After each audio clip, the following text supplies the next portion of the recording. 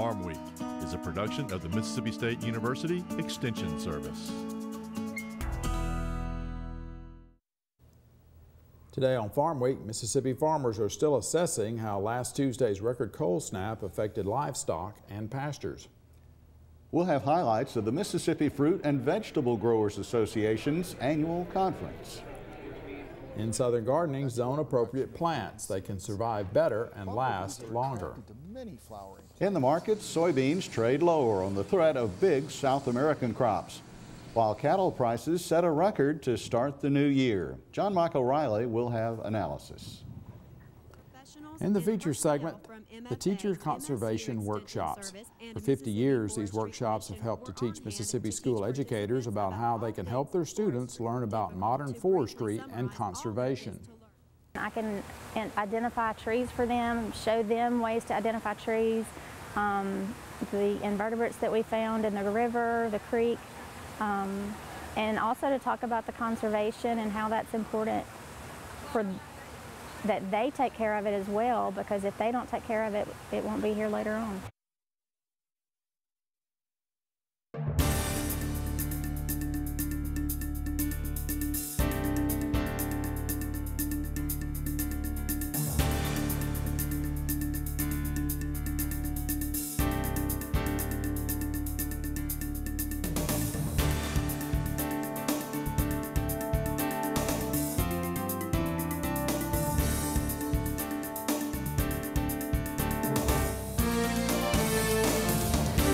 Good day, everyone. I'm Leighton Spann. And I'm Artis Ford. Welcome to Farm Week. Mississippians are still recovering from the polar vortex that hit the state on Monday, Tuesday, and Wednesday of this week.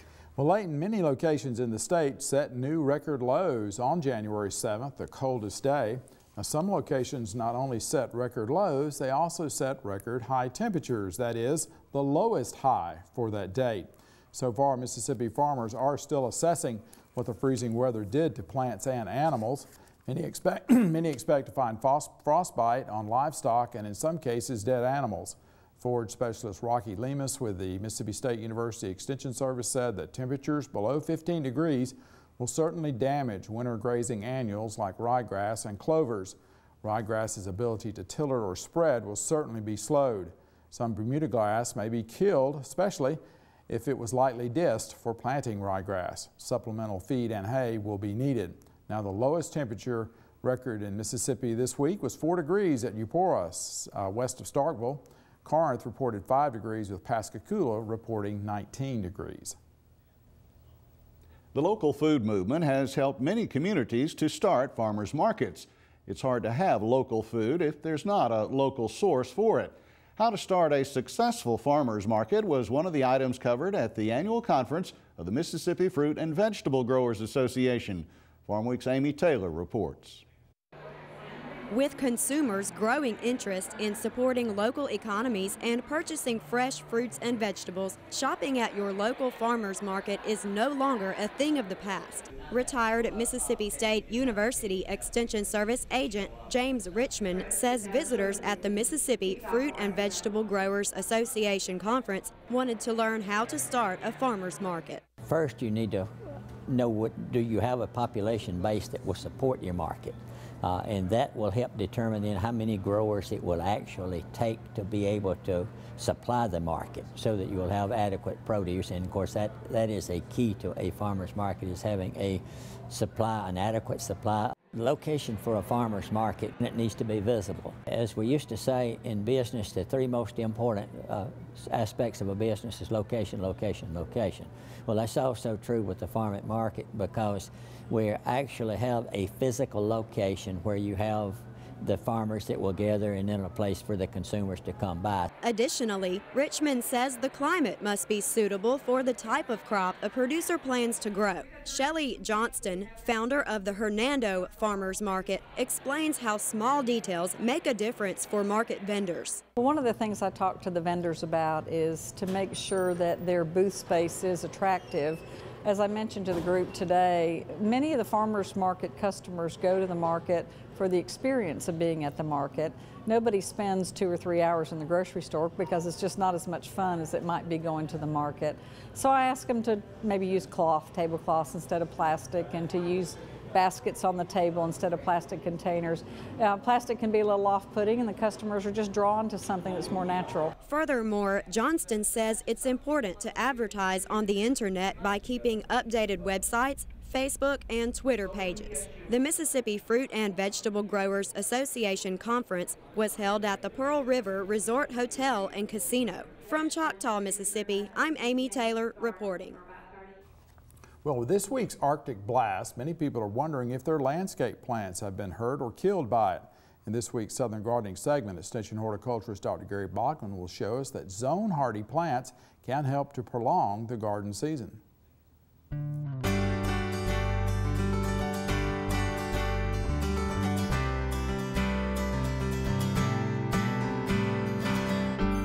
Here on the coast, we've just had several nights below 30 degrees. Today I'm visiting my friends Lisa and Marty to see how their new landscape withstood the cold temperatures. While some of the more tropical plants were sensitive to the cold, the bulk of Lisa and Marty's landscape are plants that are appropriate for their planting zone. The primary ground cover plant is chocolate chip ajuga, which has narrow foliage that is dark green with chocolatey brown highlights.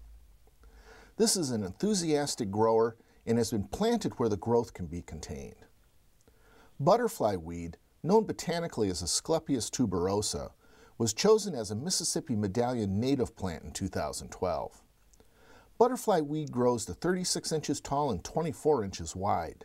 This plant has an upright clumping growth habit. Even late into the year, the clusters of tubular flowers with various shades of orange, yellow, or red are still attracting monarch butterflies. Shell ginger continues to provide color throughout the landscape. Planted around the large urn fountain, the variegated leaves are dramatic with their striking irregular green and yellow stripes. Garden art always adds to the landscape interest. The Mississippi medallion winner Shishi Shishigashira camellia with its pink blooms is the perfect background for their St. Francis statue.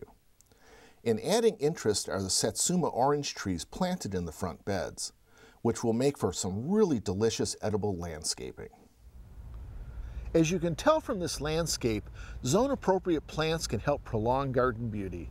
I'm horticulturist Gary Bachman for Southern Gardening.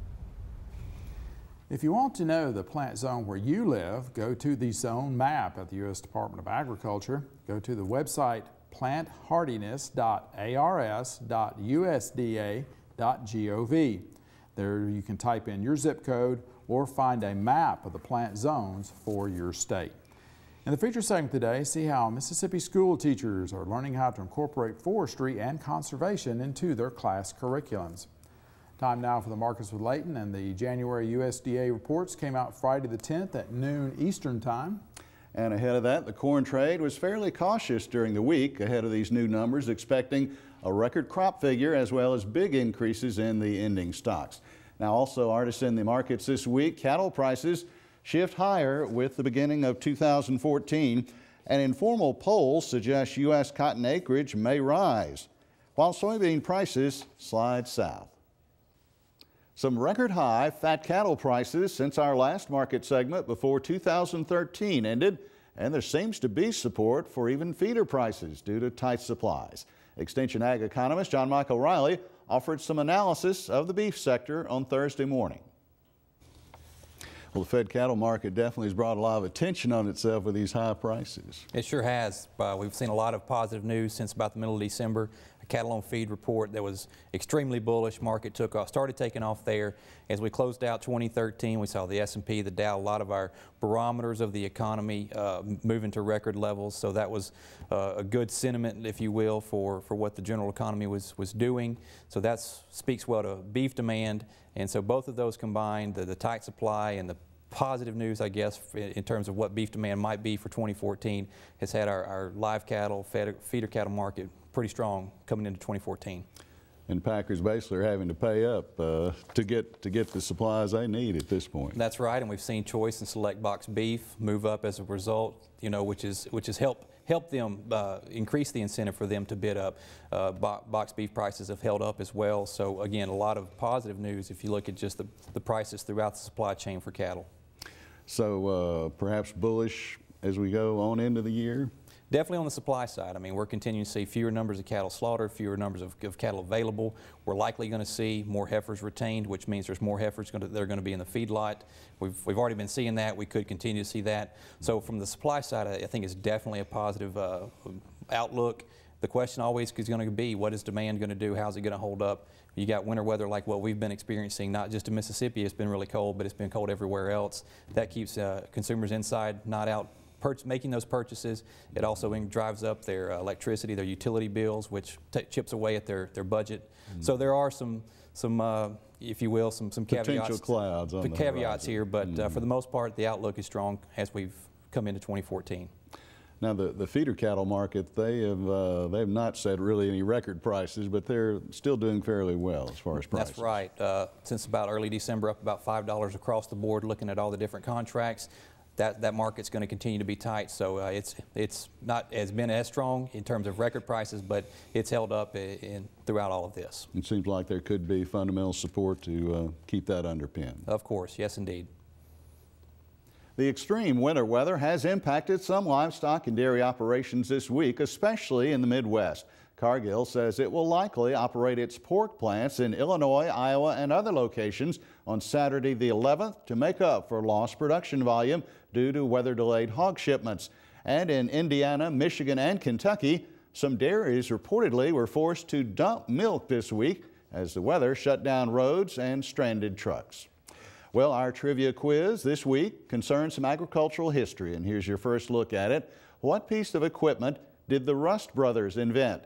Is the answer the cotton gin, or the disc harrow, or the three-point hitch, or the mechanical cotton picker?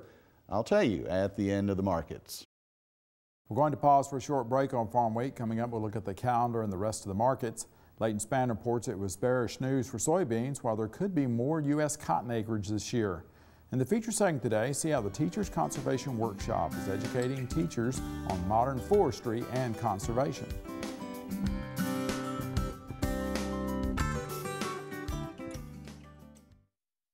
Every day, real people are solving problems, learning skills, and achieving goals through Extension education. We care about their success and yours. Extending knowledge, changing lives. The MSU Extension Service. Before we get back to the markets, let's look at the Farm Week calendar. Four food safety workshops are planned for Mississippi produce growers from now through March. These workshops will help growers gain certification and learn how to grow high quality fruits and vegetables. The MSU workshops are free, but farmers must pay for each individual audit of their farms to complete the certification.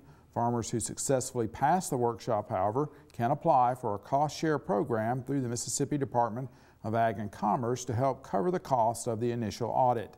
The first workshop takes place Monday, January 13th at the Forrest County Extension Service office in Hattiesburg. The second is Monday, February 10th. The 41st Delta Ag Expo will make its run. That's Thursday and Friday, January 23rd and 24th. It takes place in Cleveland, Mississippi at the Bolivar County Expo Center, located near the intersection of Highways 8 and 61. There's no admission fee. In addition to the many vendors who will be on site, there will also be several education sessions. An irrigation roundtable will be held Thursday morning. Thursday afternoon sessions include cotton, soybeans, and a pipe planting seminar. Friday morning, the sessions will cover rice, corn, small grains, and grain storage. Go to our Farm Week website at farmweek.msucares.com for information on these and other events. Now check out this week's Farm Week Snapshot.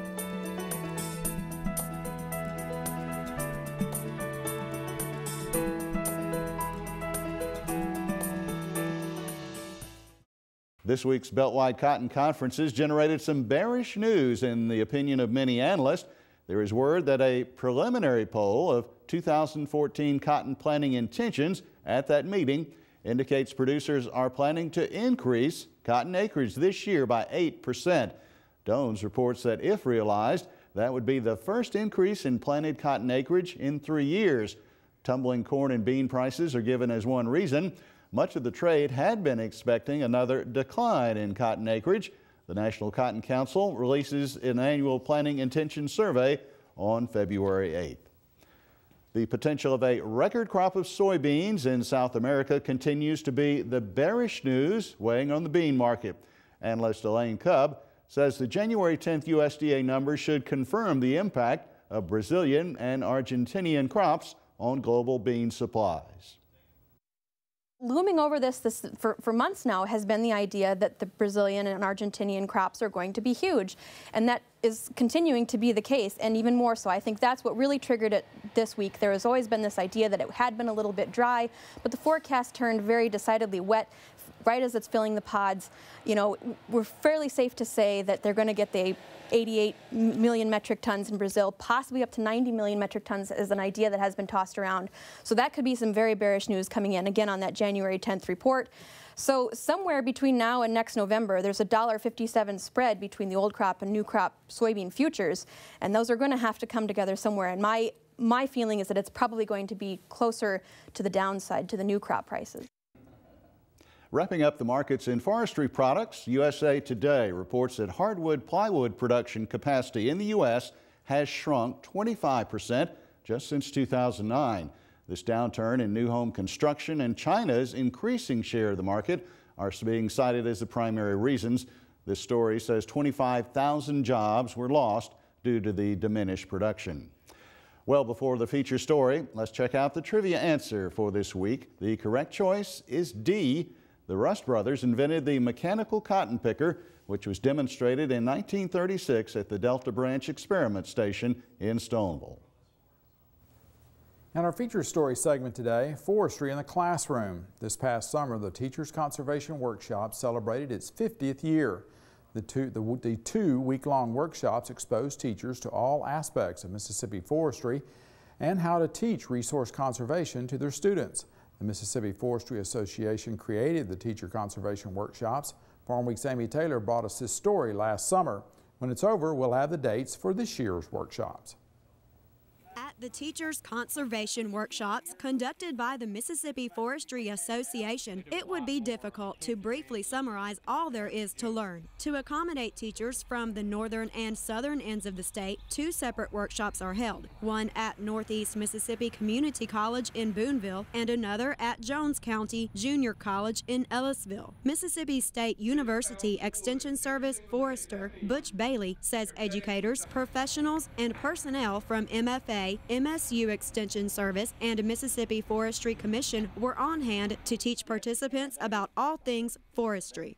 The Teachers Conservation Workshop is a week-long educational program that the Mississippi Forestry Association has been conducting for 50 years. This is our 50th anniversary. We're pretty proud of that. And what we do is we take a group of about 20, 25 teachers every year and we spend one week teaching them everything we possibly can about forestry in Mississippi, from nurseries to um, the various management regimes from private landowners to public landowners to big industry. Additionally, Bailey says the teachers visited large logging and lumber mills, sawmills, and national and state forests, as well as privately owned forests. They got an inside look at Mississippi forestry from tree planting to harvesting to safety procedures used at the various facilities. Soil variety, quality, and erosion were also discussed. First grade teacher Amy Taylor explains some of the activities at TCW. We did measurement and evaluation and we determined the diameter of trees and how many logs we can get from the trees to, or to see how many boards we can get from a log. We did some leaf tree identification. Um, we've learned to um, tell the different types of trees um, according to their leaves, their bark, um, their fruit. We've played some a game this morning with the tree identification that um, we can use um, to incorporate into our classrooms. In addition, Taylor says she has an even greater appreciation for forestry and wildlife and explains how TCW will help her educate her students. I can identify trees for them, show them ways to identify trees, um, the invertebrates that we found in the river, the creek, um, and also to talk about the conservation and how that's important for that they take care of it as well because if they don't take care of it, it won't be here later on. Furthermore, Taylor says she and fellow participants were pleased to learn about the careful conservation steps Mississippi foresters take, such as planting approximately six trees for every tree that's cut and making sure to utilize all parts of the tree. In addition to outdoor and hands-on activities, classroom sessions offered an array of interesting topics discussing various wildlife species and habitats, water quality, testing the strength of wood, and even the different sizes of pine cones. Additionally, Extension Forestry Professor Dr. Glenn Hughes discusses how Project Learning Tree was used to help teach some of the workshop sessions. Project Learning Tree is a uh, uh, program that's developed by an organization called the American Forest Foundation. And Project Learning Tree is an environmental education program. Uh, they, they have a, a really nice series of booklets that they develop, books that they develop for teachers that have practical exercises that teachers can take can utilize in their classroom. Dr. Hughes says you wouldn't expect to be able to teach math, social studies, and human sciences using forestry, but Project Learning Tree makes that possible through activities offered on kindergarten through 12th grade levels. Additionally, Dr. Hughes and Butch Bailey elaborate more on why it's important to teach forestry and resource conservation in schools. Forestry and forest products are a significant part of the economy of the state uh, in excess of $10 billion per, uh, per year for the state of Mississippi. So it's a tremendous part of our economy. And it's part of the, the, uh, the teacher, it affects the teachers directly and indirectly because we have 16 section lands and the revenue from timber, for example, on 16 section lands goes directly to the, uh, to the school system. And when you're talking about Mississippi history, it is forestry, or at least logging and, and timber harvest. That's, that's why Mississippi was settled.